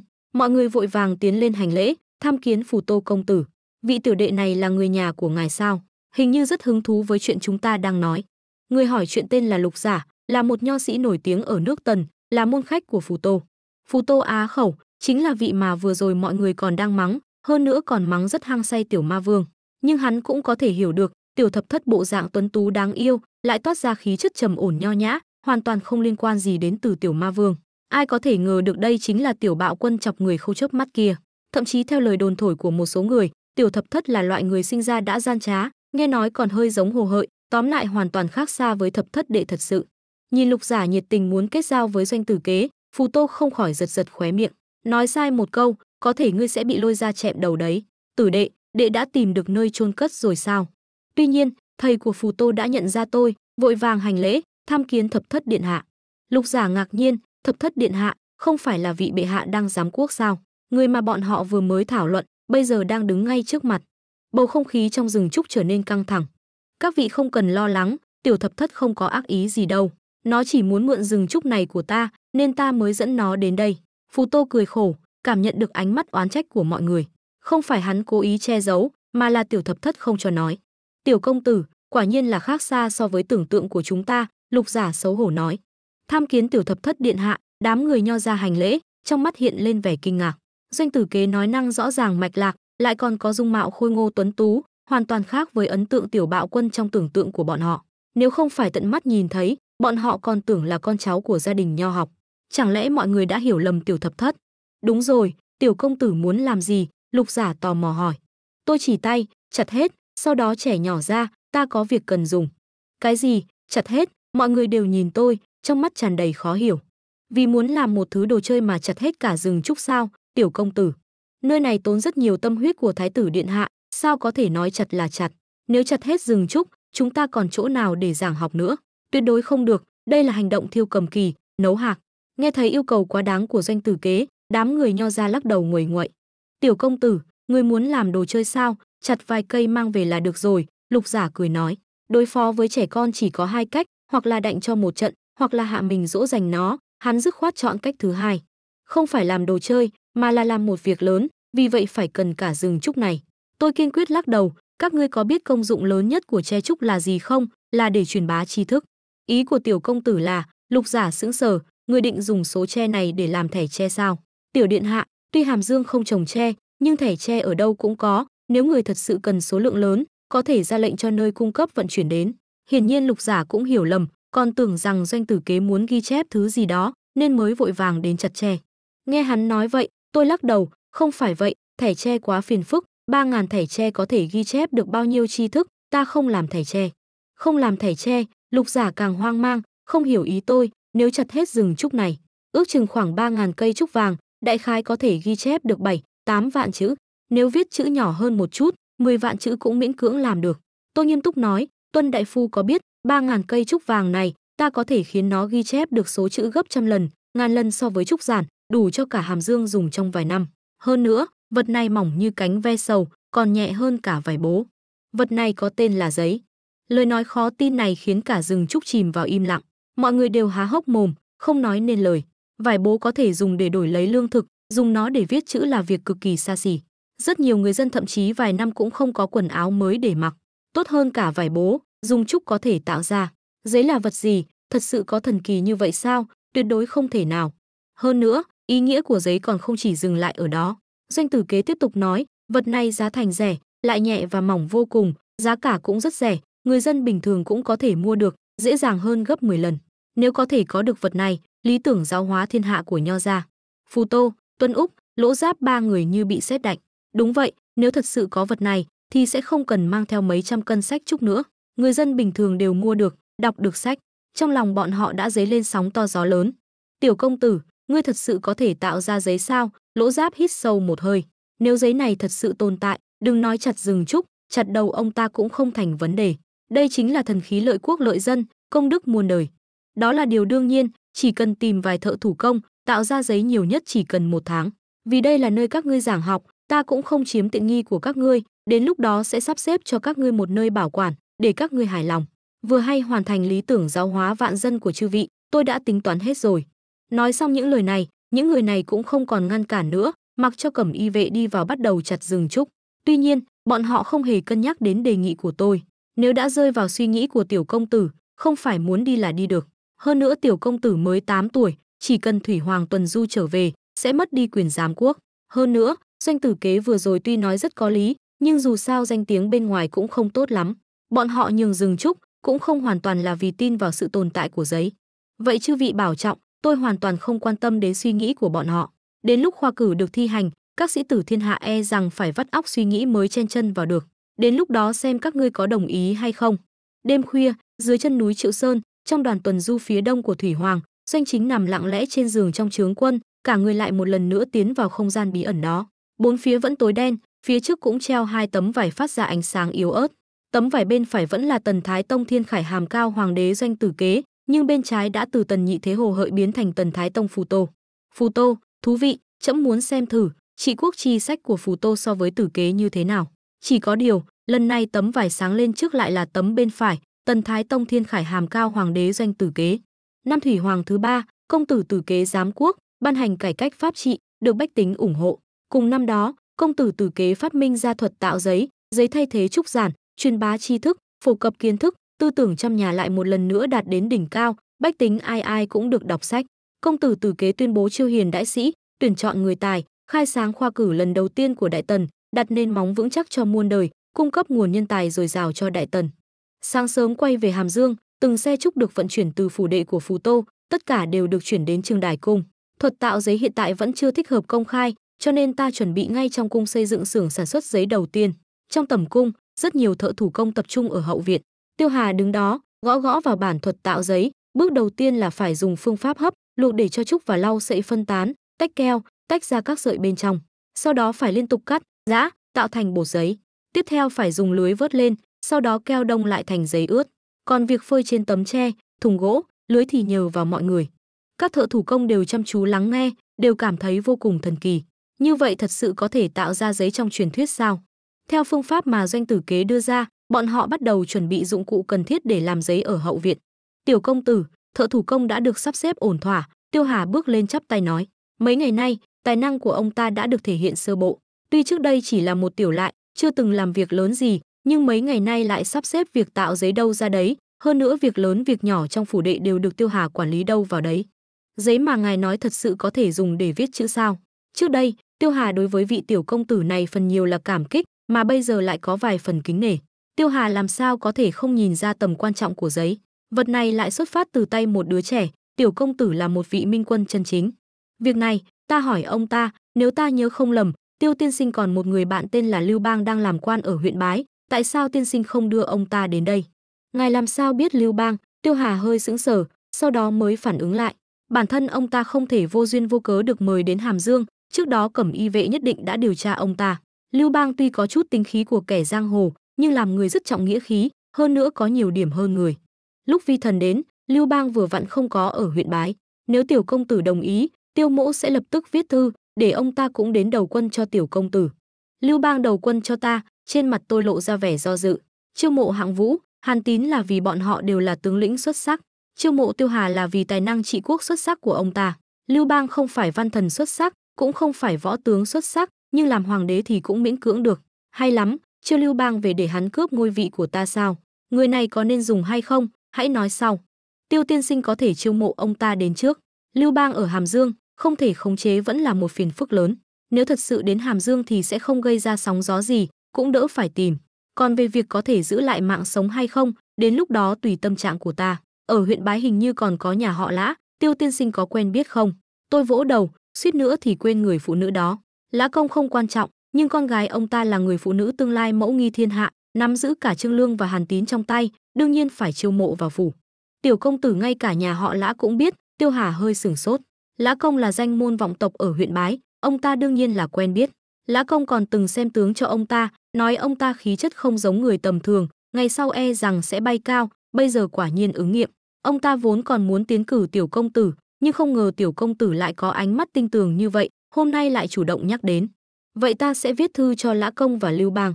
Tiêu Hà càng thêm kính nể vị tiểu công tử này, vội vàng đi viết thư. Phù Tô không nhịn được hỏi, thập thất đệ, như vậy thật sự có thể tạo ra giấy sao? Đương nhiên rồi, giấy không chỉ dùng để viết chữ, tôi mong chờ giấy được tạo ra nhanh hơn bất kỳ ai, không chỉ vì nó sẽ tăng quốc vận. Phù Tô khó hiểu hỏi, còn có thể làm gì? Dùng làm giấy vệ sinh, que cạo dùng thật sự quá khó chịu. Giấy mềm mại, mỏng nhẹ, dùng thoải mái nhất, tôi phổ cập kiến thức cho Phù Tô. Que cạo cũng được làm bằng trúc, khó tránh khỏi có gai chưa được xử lý tốt. Hiện tại tôi mới 8 tuổi, trời mới biết mấy năm nay tôi đã sống như thế nào. Giấy là dùng để ghi chép lời dạy của Thánh Hiền, sao có thể dùng để lau chùi vật ô uế? Không được, không được, Phù Tô chưa từng thấy giấy, nhưng vẫn vô cùng kinh hãi. Trong nhà ngục Hàm Dương, khắp nơi đều là quân sĩ đại tần được vũ trang đầy đủ, năm bước một đồn, 10 bước một chạm gác, ngay cả một con ruồi cũng khó bay ra ngoài. Mà có một nhà ngục, phía trước lại có 10 cẩm y vệ mặc phi ngư phục canh giữ. Đây là theo lời dặn dò của tôi, Vũ Hóa Điền chọn ra hai đội tinh nhuệ trong cẩm y vệ, chuyên canh giữ Trương Lương. Vũ Hóa Điền làm việc cẩn thận, hơn nữa là đốc chủ của Tây Sưởng, biết rõ thủ đoạn tầng tầng lớp lớp trên triều đình. Có không ít người muốn lấy đầu Trương Lương, hơn nữa, cũng không chắc có kẻ lắm tiền nhiều của đến cứu. Cẩm y vệ chính là tuyến phòng thủ cuối cùng. Quân sĩ và lính canh đi ngang qua cũng bàn tán, bộ y phục này hình như còn tinh xảo hơn cả của các tướng quân, là người nào vậy? Nghe nói là cẩm y vệ bên cạnh tiểu công tử. Vậy người mà bọn họ áp giải là ai? Là thích khách hành thích bệ hạ. Tên kẻ cầm đầu là Trương Lương, tiểu công tử tâm ngoan thủ lạt, không biết sẽ dùng hình phạt gì đối với hắn. Trong ngục tối ẩm thấp, Trương Lương và những người đi theo hắn, tay chân đều bị trói bằng gông xiềng nặng nề. Bọn họ phần lớn là quý tộc sáu nước, hoặc là dân thường có ý thức, nào đã từng thấy cảnh tượng này. Cảm nhận bầu không khí ngột ngạt trong ngục, cùng với tiếng kêu oan, tiếng kêu thảm thiết thỉnh thoảng vang lên, sắc mặt ai nấy đều trắng bệch. Trương Lương khó khăn giơ hai tay lên, nói với mọi người, đến nông nỗi này là do Trương Lương liên lụy đến mọi người. Hắn đến bây giờ vẫn không hiểu mình bị bắt như thế nào, chỉ có thể than thở chí hướng của Thủy Hoàng quá cao xa, hắn không thể nào với tới. Kế hoạch ám sát tưởng chừng như hoàn hảo này vẫn quá sơ suất. Hai, mọi người cùng nhau làm việc lớn, cũng đã từng nghĩ sẽ có ngày hôm nay, không trách được Trương Lương công tử. Đúng lúc này, cẩm y vệ canh giữ ở cửa bỗng động tài, trong lối đi đột nhiên truyền đến tiếng bước chân rồn rập, hắn lập tức phát hiện ra người đến. Ta là Hồ Hợi, đến chọc Trương Lương để thị uy quốc gia, các ngươi mau tránh ra. Hồ Hợi dẫn theo vài công tử quý tộc, cùng hơn trăm tư binh, chặn kín cửa ngục. Hắn nhìn cẩm y vệ chắn trước mặt, trong mắt lộ ra vẻ không kiên nhẫn. Xông vào hắc nha ngục là tội không nhỏ, hắn không muốn rước thêm phiền phức. Lần này là sư xuất hữu danh, nếu không hắn chưa chắc đã có gan làm vậy. Đây là phạm nhân của tiểu chủ, chưa nhận được lệnh cấm vào. Bách hộ cẩm y vệ không nhường bước, trong mắt lộ ra vẻ khinh thường. Mệnh lệnh của doanh tử kế là canh giữ Trương Lương, muốn chọc cũng phải do tiểu chủ đích thân hạ lệnh. Ngươi thật to gan, ta là công tử Hồ Hợi, huynh trưởng của doanh tử kế, hắn ở đây cũng không thể ngăn ta, các ngươi, đám nô tài này dám ngăn ta. Hồ Hợi nhìn bộ dạng của cẩm y vệ, huyết áp lập tức tăng vọt. Ở Hàm Dương, ngoài doanh chính, hắn còn sợ ai? Một tên thị vệ nhỏ bé, lại dám không coi hắn ra gì. Nhưng mặc kệ hắn hung hăng thế nào, ánh mắt của cẩm y vệ vẫn không hề thay đổi, còn đặt tay lên chuôi tú xuân đao. Bọn họ không quan tâm là vương công quý tộc gì, nếu cố tình xông lên, sẽ chọc không tha. Tuy cẩm y vệ chỉ có 10 người, nhưng khí thế lạnh lùng này lại khiến Hồ Hợi mang theo nhiều người lại có chút sợ hãi. Nhưng đã đến rồi, nếu bị thị vệ của doanh tử kế đuổi đi, sau này Hồ Hợi còn mặt mũi nào nữa? Hôm nay ta sẽ thay thập thất dạy dỗ các ngươi. Xông vào, hôm nay nhất định phải chọc Trương Lương. Hồ Hợi vừa dứt lời, Tư binh không quan tâm nhiều như vậy, cầm vũ khí chuẩn bị xông lên. Trong ngục, Trương Lương còn khá bình tĩnh, nhưng những người đi theo hắn đều hoảng sợ. Hơn trăm tư binh được trang bị đầy đủ, dù cẩm y vệ có võ nghệ cao cường cũng không thể nào ngăn cản được. Không ngờ chưa đợi tiểu bạo quân xử trí, bọn họ đã bị một người con trai khác của doanh chính chọc chớt. Đúng lúc này, một thanh tú xuân đao bay tới, ghim thẳng vào gạch đá xanh cứng rắn, như một lời cảnh cáo. Vượt qua ranh giới này, chọc không tha, giọng nói tràn đầy sát khí, khiến người ta không chút nghi ngờ tính chân thực của câu nói này. Mà Hồ Hợi khi nhìn thấy người từ trong đám cẩm y vệ bước ra, không khỏi dùng mình, bởi vì Triệu Cao chính là bị người này chọc chớt. Tư binh cũng đều dừng bước, bởi vì bọn họ nhìn thấy cẩm y vệ như thủy triều ùa tới, đã bao vây bọn họ từ phía trước và phía sau. Vũ Hóa Điền bước ra, rút lại tú xuân đao của mình, xông vào Hắc Nha ngục, mưu toan sát hại cẩm y vệ, đồng nghĩa với mưu phản, bắt hết lại, giam vào ngục. Cẩm y vệ như hổ đói xông lên, trói chặt đám công tử quý tộc và tư binh. Hồ Hợi vẫn còn dãy ruộng ta là con trai của thủy hoàng, ngươi không sợ phụ hoàng trở về trị tội ngươi sao? Nói nhảm, chát, Hồ Hợi bị tát một cái thật mạnh vào mặt, má đỏ bừng. Cái tát này thật sự mạnh, hắn không ngờ thị vệ của tiểu thập thất lại dám tát hắn. Đám cẩm y vệ hung hãn này thật sự không coi thân phận công tử của hắn ra gì. Cứ như vậy, đám người hùng hổ, từng người một bị trói thành bánh trưng, không những không chọc được Trương Lương, ngược lại còn tự chuốc lấy họa. Mà chuyện xảy ra trong nửa nén hương này khiến Trương Lương cũng sửng sốt. Doanh tử kế ngay cả huynh trưởng của mình cũng bắt, rốt cuộc là muốn bảo vệ hắn, hay là có mưu đồ khác. Cho bọn họ ăn, mệnh lệnh của tiểu chủ là phải thấy Trương Lương sống tốt, đừng để hắn chết đói. Sau khi xử lý xong đám người hồ hợi, Vũ Hóa Điền sai cẩm y vệ đích thân mang thức ăn đến, thậm chí còn có rượu. Thức ăn trong ngục không những không đảm bảo, còn rất dễ bị hạ độc. Hắn bưng bát đá đặt trước mặt Trương Lương, Trương Lương thì đầy mặt nghi hoặc. Hắn không sợ chết, nhưng thật sự không hiểu bây giờ là tình huống gì.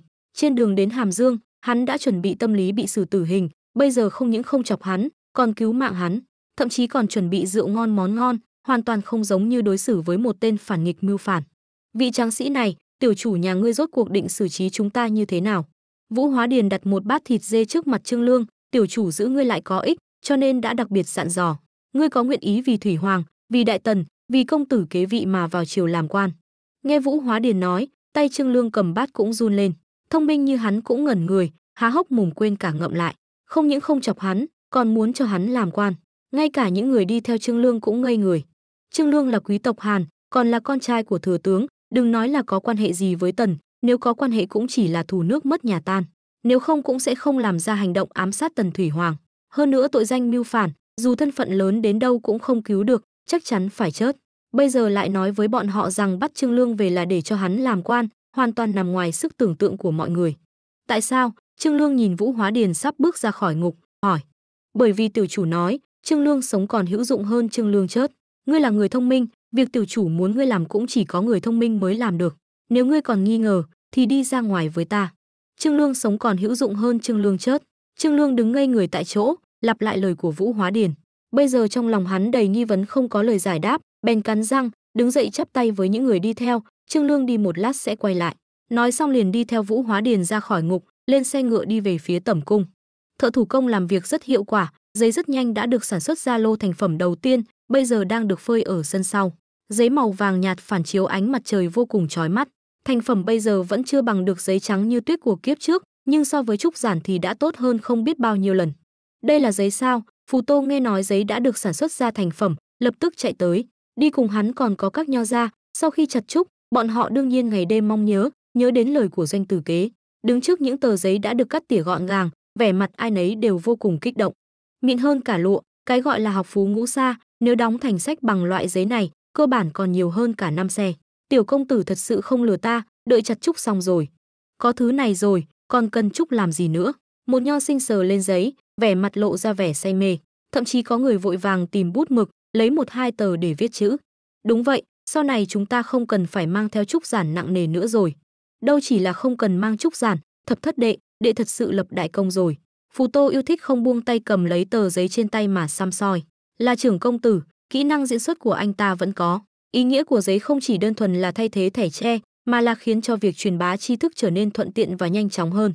Trước đây, một bó thẻ tre có thể được coi là bảo vật gia truyền, chỉ có nhà quyền quý mới có thứ gọi là tàng thư. Sự xuất hiện của giấy chắc chắn đã phá vỡ tình trạng này. Cái sân sau này của ta vẫn còn quá nhỏ, hiệu suất làm giấy có hạn. Những ngày nay mới chỉ làm ra được hơn 3 vạn tờ, mà ta lại có vẻ vẫn chưa hài lòng. Từ kế miết mép tờ giấy, sẽ nhẹ một chút, lập tức nhăn mặt nhỏ lại. Giấy trúc hơi cứng, dùng để viết chữ thì khá phù hợp, nhưng yêu cầu của ta đối với giấy không chỉ đơn giản là có thể viết, tuy nhiên, vẫn tốt hơn thẻ tre nhiều. Mọi người lúc này đều cúi đầu hành lễ với ta, tạ ơn tiểu công tử. Gọi giấy là thần khí của văn đạo cũng không hoa. Mặc dù Tiêu Hà đã tham gia toàn bộ quá trình làm giấy, nhưng sự kinh ngạc trong lòng lúc này cũng không kém Phù Tô. Khổng tử còn có thể lấy người cùng chí hướng làm thầy, họ bái lại một hoàng tử của Tần Thủy Hoàng thì có gì đáng xấu hổ chứ? Nhiều nho sinh nho gia đều lộ vẻ hổ thẹn. Trước đó họ còn nghi ngờ lời nói của doanh tử kế, không tin trên đời có thứ gọi là giấy. Có người trong lòng còn phẫn nộ vì hành động chặt che của cậu. Bây giờ giấy đã xuất hiện, che chúc gì đó, tu dưỡng tình cảm gì đó đều không còn quan trọng nữa. Không sao, không sao, không ghi thủ mới là đứa trẻ ngoan mà. Ta mỉm cười rạng rỡ, nhưng sự sắc bén trong mắt lại ẩn sâu. Mọi người thấy sao nếu chép các kinh điển của Nho gia và các học phái khác lên giấy, muốn mở trường học, tàng thư và giáo trình là không thể thiếu. Đây không phải là những lao động miễn phí ngay trước mắt sao? Quan trọng nhất là chữ viết của những người này rất đẹp, giống như in bằng máy vậy. Các đệ tử Nho gia vừa nghe thấy, lập tức như được tiêm mấu gà, nghĩ đến việc viết chữ trên giấy. Các ngươi tránh ra, luận ngữ nên do ta chép. Để ta đến, hôm nay dù có nhịn ăn nhịn uống nhịn ngủ, ta cũng phải chép xong. Các đệ tử Nho ra cũng không câu nệ nhiều, sắn tay áo lên bắt đầu chép ngay tại sân sau. Tiêu Hà lại không nhúc nhích, vẻ mặt muốn nói lại thôi, cuối cùng mới mở miệng, "Tiểu công tử, ngài định xử lý Trương Lương thế nào?" Hiện tại, Tiêu Hà đã dốc hết sức phò tá doanh tử kế, đặc biệt là sau khi giấy xuất hiện, càng khiến ông ta hết lòng hết dạ. Trương Lương là kẻ mưu phản, nếu xử lý không tốt, dù tiểu công tử được sủng ái cũng khó tránh khỏi rắc rối. Là mưu sĩ, ông ta đương nhiên phải lo nghĩ cho chủ nhân. Nhưng ông ta vừa dứt lời, một bóng người bước vào từ ngoài cửa, chính là Vũ Hóa Điền vừa trở về từ nhà ngục. Điện hạ, Hồ Hợi không nghe lệnh, tự ý xử tử Trương Lương, đã bị thuộc hạ bắt giữ. Còn Trương Lương, thuộc hạ đã mang đến, chờ ngài xử lý. Ta phẩy tay, Hồ Hợi, trước tiên cứ giam hắn trong ngục hắc ám, mang Trương Lương vào đây. Những công tử quý tộc đó, dựa vào công lao của tổ tiên đối với nhà Tần, vậy mà dám xông vào cả ngục hắc ám. Còn Hồ Hợi, tên này giam lại cũng tốt, đỡ phải gây rối bên ngoài. Tuy nhiên, việc này vẫn phải báo cho phụ hoàng biết, cho dù ta không nói, cũng sẽ có người của Hắc Băng Đài viết thư cho phụ hoàng. Sau đó, ta viết một bức thư đưa cho Vũ Hóa Điền, đem bức thư này gửi cho phụ hoàng. Lúc này, Trương Lương cũng được dẫn đến. Cởi trói cho hắn, tiên sinh tử phòng là người đọc sách, sao có thể đối xử thô lỗ như vậy? Dây trói trên người Trương Lương được cởi ra, vải đen bịt mắt cũng được gỡ xuống.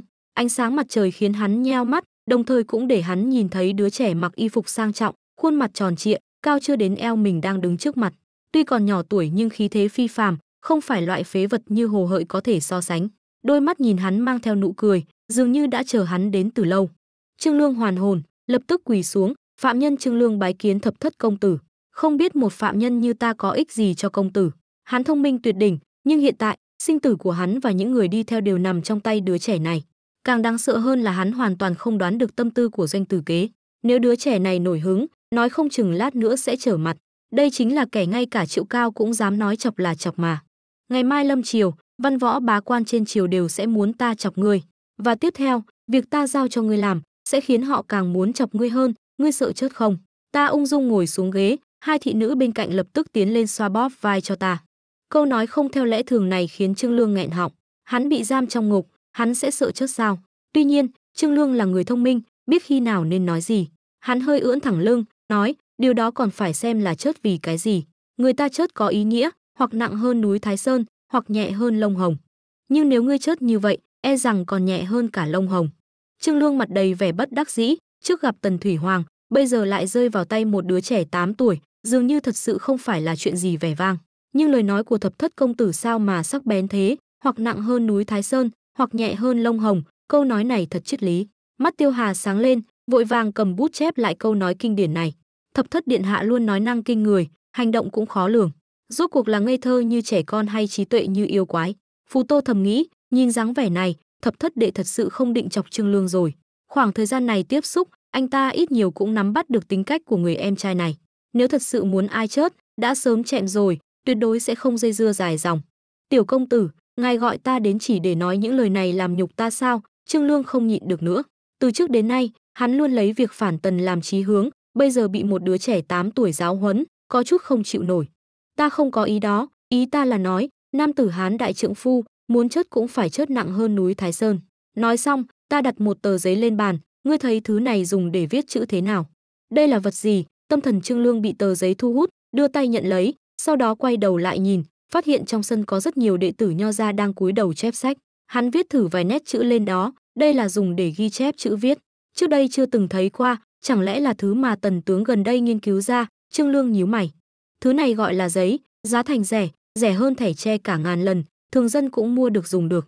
Hơn nữa còn dễ dàng mang theo, có thứ này, ảnh hưởng đến việc truyền bá tri thức rất lớn, ngươi biết giấy do ai làm ra không? Thân hình Trương Lương cứng đờ, hắn là người thông minh, lập tức nghĩ ra rất nhiều điều. Sự xuất hiện của giấy đủ để cho tri thức được truyền bá rộng rãi trong tầng lớp bình dân và người tạo ra giấy chính là thập thất công tử. Tiêu Hà mỉm cười nhìn Trương Lương, ông ta thông minh như vậy, cũng biết tiểu công tử không định chọc Trương Lương. Hơn nữa, ánh mắt của tiểu công tử chưa bao giờ sai, người này e rằng sẽ trở thành đồng liêu của ông ta. Trương Lương không thể tin được nhìn sang, đứng ngây người tại chỗ. Còn điều khiến hắn rung động hơn nữa là câu nói tiếp theo của ta, ngươi là Trương Lương, cho dù phải chớt cũng phải chớt nặng hơn núi Thái Sơn chứ. Ta có ý định mở trường học, chiêu mộ hiền tài khắp thiên hạ, để cho mọi người đều có sách để đọc, ngươi có nguyện ý làm viện trưởng không? Lần này không chỉ Trương Lương ngây người, mà cả các đệ tử nho gia đang chép sách bên cạnh, cùng với Phù Tô và Tiêu Hà đều bị dọa giật mình. Chiêu mộ hiền tài khắp thiên hạ, để cho mọi người đều có sách để đọc. Có lẽ là lời nói vô tâm của trẻ con, nhưng lại khiến họ có cảm giác như trời đất đảo lộn. Tiểu công tử không định chọc Trương Lương, còn muốn mở trường học, để cho mọi người đều có sách để đọc. Đây chính là hữu giáo vô loại mà Khổng Thánh đã nói, là đại sự công đức vô lượng. Không ngờ tiểu công tử lại là người như vậy. Sao ngươi có thể dùng ánh mắt của người thường để nhìn tiểu công tử? Ngài ấy vẫn chỉ là một đứa trẻ 8 tuổi mà. Mà vẻ mặt Phù Tô lại lộ rõ vẻ lo lắng, Trương Lương này có đức hạnh gì? Mặc dù việc mở trường học là công đức muôn đời, nhưng cũng không nhất thiết phải là một tên phản tặc làm chuyện lố bịch như vậy. Đến lúc đó, nếu phụ hoàng biết chuyện này, nhất định sẽ nổi trận lôi đình. Ta, ta làm viện trưởng, nhìn khuôn mặt nhỏ nhắn thờ ơ của ta, Trương Lương cảm thấy hơi không đáng tin cậy. Hắn đã từng nghĩ tiểu công tử sẽ để hắn giúp đỡ đạnh trận, làm quân sư, cũng từng nghĩ sẽ bị ngũ mã phanh thây ở cổng thành Hàm Dương, vạn vạn không ngờ doanh tử kế lại để hắn đi quản lý một trường học. Nếu không phải coi trọng hắn, sao lại tốn công sức đưa hắn đến đây, còn mạo hiểm thiên hạ đại bất duy, xá tội cho một tên phản tặc tần, chỉ để mở một trường học cho hắn dạy học, điều này hoàn toàn không hợp lý. Ta lừa ngươi làm gì, đều là người lớn lừa trẻ con, nào có trẻ con lừa người lớn. Doanh tử kế trợn mắt, hơn nữa, ngươi đừng tưởng đây là chuyện tốt. Ta sẽ đặt tất cả kinh điển của các học phái vào trường học để giảng dạy. Đến lúc đó, không chỉ Hàm Dương, mà học trò nghèo khó khắp vùng Tây Bắc đều sẽ đổ xô đến. Ngươi có thể ứng phó được không? Chuyện này chỉ có ngươi mới làm được. Nghe những lời này, Trương Lương im lặng, thì ra là vậy. Hắn xuất thân từ gia đình danh môn vọng tộc, lại từng lưu lạc dân gian, sau một hồi suy nghĩ đã hiểu rõ mấu chốt trong đó. Triều đình bây giờ, gần một nửa là quý tộc, nguyên nhân tạo thành cục diện này là gì? Tri thức, từ trước đến nay đều bị tầng lớp quý tộc nắm giữ. Con nhà nghèo khó, thậm chí có thể vì một bó sách mà bán mạng cho người khác. Sau khi Hàn bị diệt, di sản lớn nhất của hắn không phải là tài sản, mà là tàng thư mà cha ông để lại. Phá vỡ tình trạng tri thức bị độc chiếm, đương nhiên là có lợi cho thiên hạ, nhưng đồng thời cũng vô cùng nguy hiểm, hành động này chắc chắn sẽ động chạm đến lợi ích của các gia tộc, sẽ khiến họ phản kháng kịch liệt. Ôi, nói chuyện với người thông minh như ngươi thật mệt. Nam tử Hán đại trượng phu có thể dứt khoát một chút không? Tiểu công tử, ta dù sao cũng là người Hàn, không giấu gì ngài, nửa đời trước ta đều nghĩ cách phản tần. Trương Lương bắt đầu dao động, giáo hóa thiên hạ, đây là việc lớn đến nhường nào. Từ nhỏ hắn đã có chí lớn, sở dĩ phản tần cũng là vì muốn làm nên nghiệp lớn. Doanh tử kế mới bao nhiêu tuổi chứ, đi theo một đứa trẻ 8 tuổi, hắn không có tự tin.